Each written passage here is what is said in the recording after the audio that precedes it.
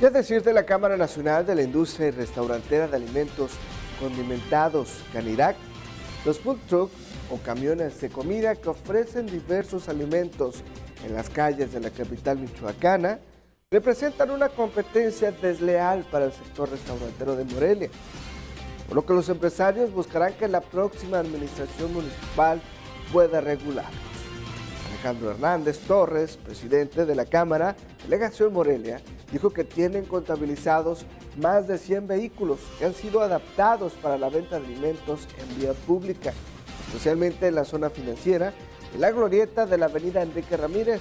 los cuales dicen no tienen licencia, no cuentan con un domicilio y tampoco con las medidas sanitarias.